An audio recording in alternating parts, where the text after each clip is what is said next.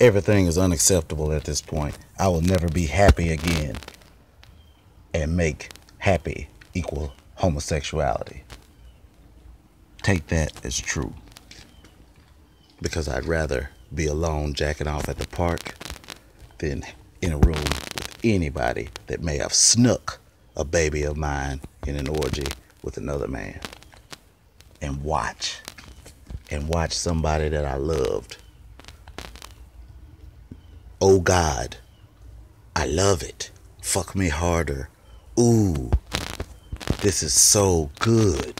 And then say the same thing to me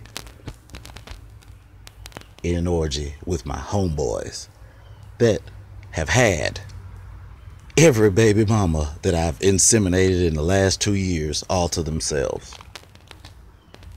I'm happy though. I'm fucking happy though, right? Because it's okay, homosexual friend. If you were unhappy, if you were ungay, I'd give you my everything, including my children, to beat.